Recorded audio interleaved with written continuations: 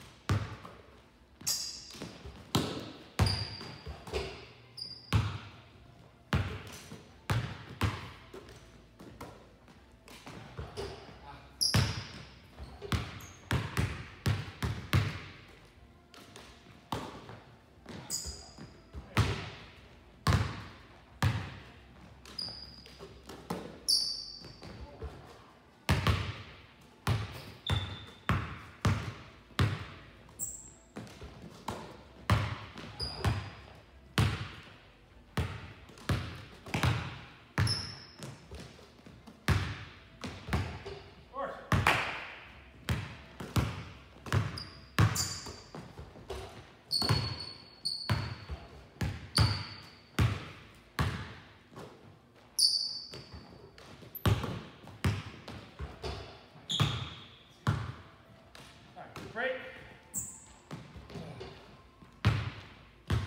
So I'd much rather shoot a 25 footer than a jump hook with my left hand. but, you know, I could tell every one of my misses was exactly the same. Short, you know, I didn't put it far enough off the glass, hit the, hit the, my side of the rim short, and I didn't get that turnover. A lot of times you lay it off like this instead of turning that hand over. Turn it over, puts a proper spin on it, gives you that extra inch. You do this, it kind of hits the glass and stops. That happened on every one of my misses. I had to focus to make shots there. That was hard.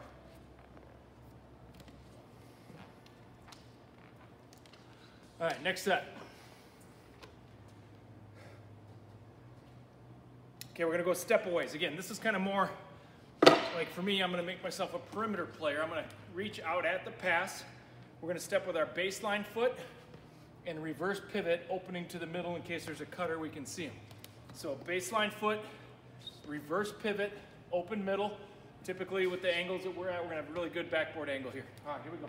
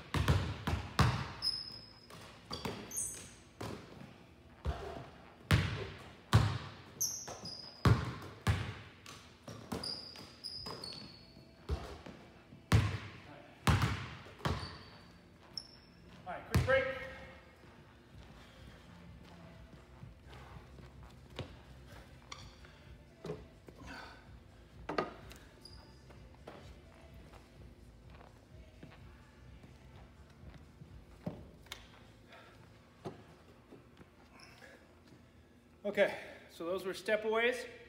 We did jump hooks. Now we're gonna go with a, a more a post move more at the basket. We're gonna go slide, slide, drop. My favorite post move, if I were gonna post up on somebody, I do this. Slide, slide, drop. Sometimes do it out of two dribbles or one.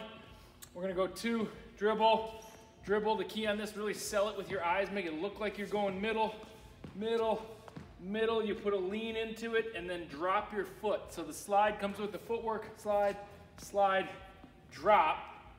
Drop, drop step to the rim then. All right, here we go. Slide, slide, drop.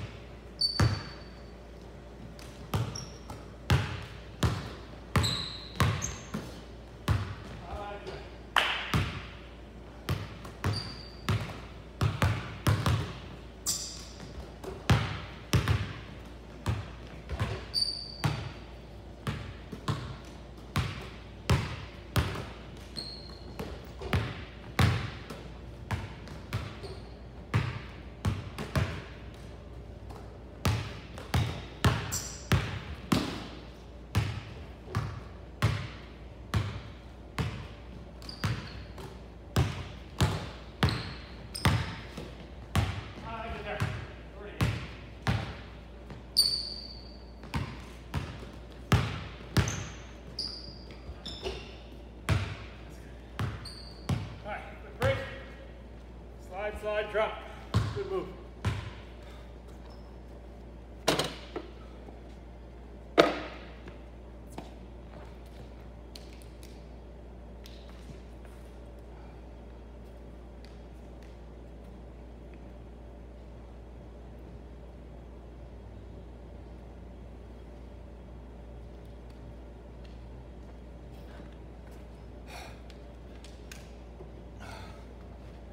All right, here we go. Next set.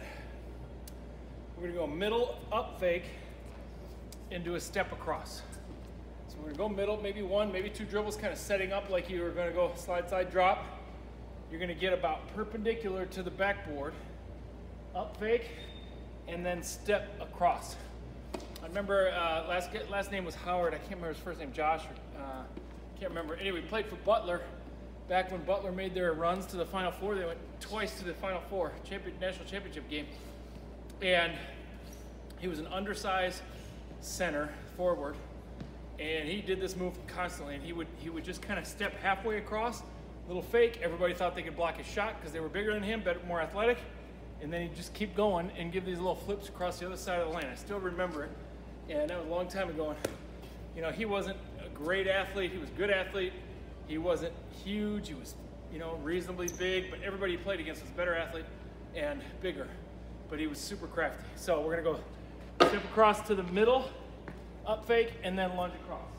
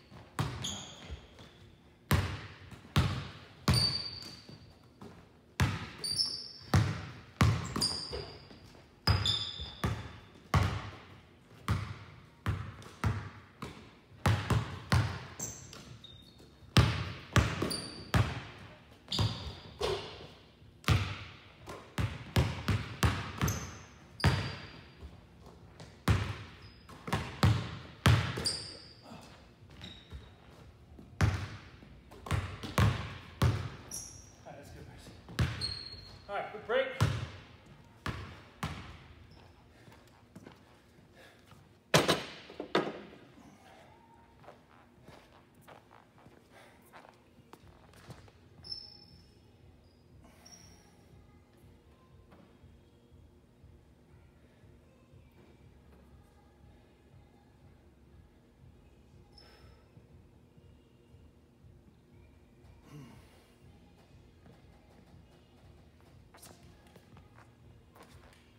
Push, the other one in too, Bryce. Okay, here we go. Oh boy, this calf is killing me. Here we go. so that was middle up fake, step across. Next one, inspired by watching some Michael Jordan highlights last night. We're gonna catch it with our back to the basket. We're gonna do a little shoulder shimmy. Okay, I like to do this as, or teach it as, as you're kind of sinking down you're, you're making that defender think something's coming, and then you throw a couple shoulder shimmies in there, and now he's got to guess. And oftentimes it just freezes the defender. I mean, especially Jordan's second time around with the Bulls after he retired the first time, came back the next three championships. This was his move. It was unguardable. He'd throw a fadeaway in there. So if you're older, you want to get throw a fadeaway in there, great. I'll do a little fade away. I can't really jump, so not going to happen much. But it's such a hard move because when you back in, it kind of freezes him and makes him go back, and then you step away. You can go either way. You can go baseline side or middle with this one, but take the time, get that little shoulder, put a little pause in there on him. All right, here we go.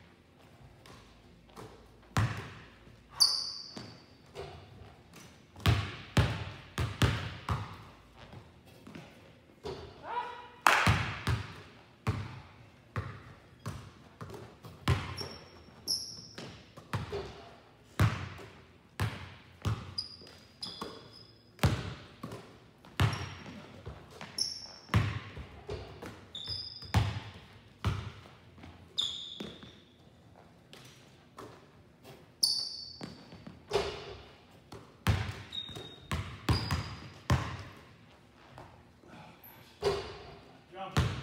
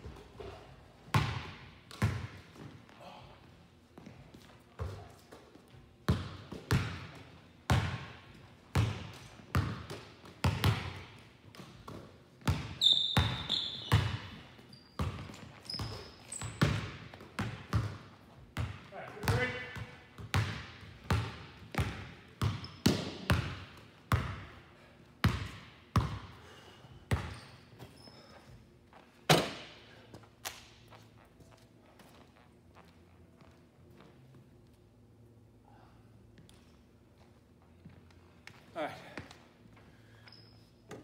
Last set. Jump hook, step away, slide, middle, Jordan, pound and spin. So we're gonna turn on the catch, one, maybe two dribbles, face middle like you're gonna turn and go to the middle, face middle, and then we're gonna spin out of it. So it's meant to be quick. Watch Bryce if you wanna see quickness, don't watch me. I'm gonna get there, make him really lean into it, think that I'm going to the rim, and spin. So kind of like a, an abbreviated version of the slide, slide, drop. I just kind of turn one time, quick turn back the other way. All right, here we go.